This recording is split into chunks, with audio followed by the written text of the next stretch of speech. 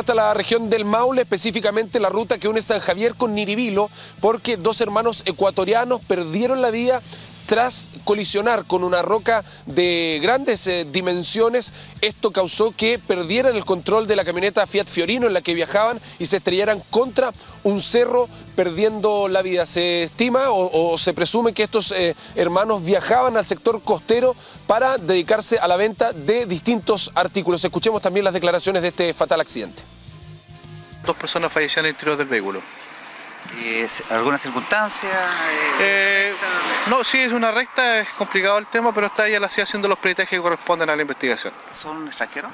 Aparentemente son extranjeros, comerciantes. Cerca de las 08.30 horas aproximadamente, por caso que se investigan, el conductor del móvil, un furgón, en la ruta L30M, pierde el control del vehículo, por lo cual se diriciona hacia la Berma, en el lugar donde impacta contra una roca.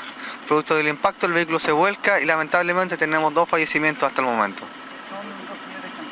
Sí, efectivamente, son dos, son dos hermanos de origen ecuatoriano, uno el conductor de 23 años y su hermana de 27 años. ¿Se habrían quedado dormidos?